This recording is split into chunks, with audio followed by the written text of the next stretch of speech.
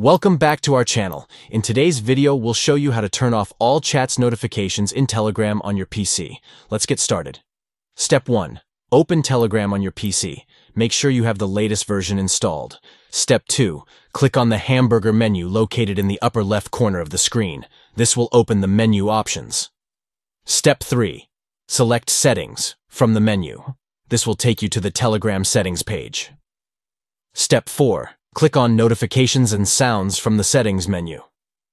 This is where you can customize your notification preferences. Step 5. Scroll down until you find Notifications for Chats.